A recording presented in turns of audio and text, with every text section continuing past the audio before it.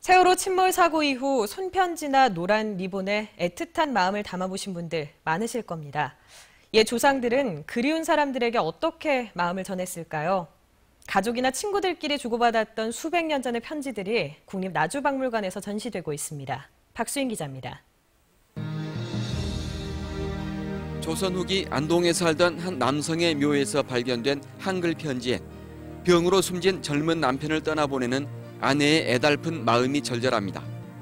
비슷한 시기 아내와 잠시 떨어져 있던 한 선비는 백여 통의 편지를 보내 그리움에 잠 못 드는 마음을 전했습니다.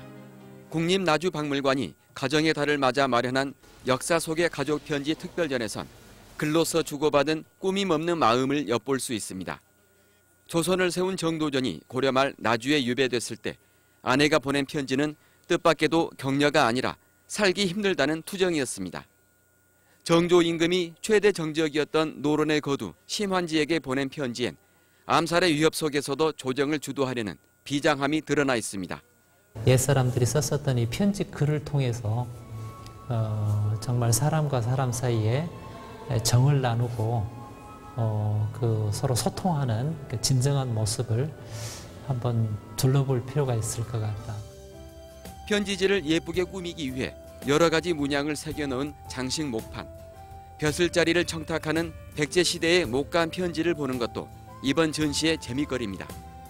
전시를 다 관람하고 나면 스마트폰 메신저가 아닌 손으로 쓴 편지를 누군가에게 전하고 싶은 마음이 생길지도 모릅니다.